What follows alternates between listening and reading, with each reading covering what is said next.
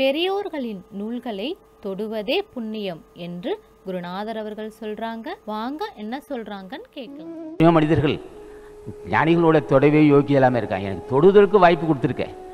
தொடுதற்கு வாய்ப்பு கொடுத்ததே நான் புண்ணியம் செய்திருக்கேன்.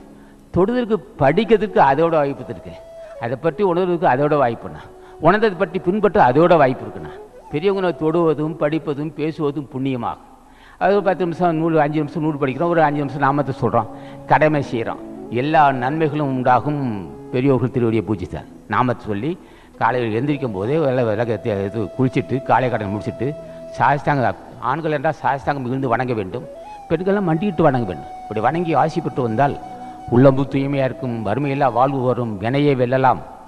நான் தான் சொன்னேன் வினையை பல முக சொல்லியிருக்கிறேன். வினை இருந்தால் எந்த காரியம் செய்ய முடியாது. வினையை நல்லபடி அமையும் நட்பு பெருகும் சிந்து உயர்ந்த சிந்தனை வரும் உடல் ஆரோக்கியம் இருக்கும். எல்லா காரியமும் நல்லபடி நடக்கும் என்று சொல்லி அவரவர்கள் ஜென்மத்தை கிடைத்ததற்காக வள்ளுவன் சொல்லியிருக்கிறான்.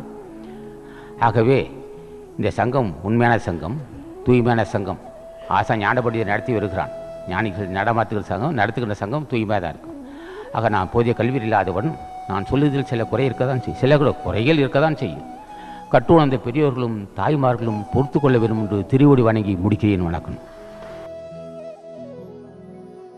ஆசானது அருளுரைகளை தொடர்ந்து கேட்க அரங்கர் டிவிக்கு லைக் பண்ணுங்க சப்ஸ்கிரைப் பண்ணுங்க. மறக்காம பெல் பட்டனையும் கிளிக் பண்ணுங்க.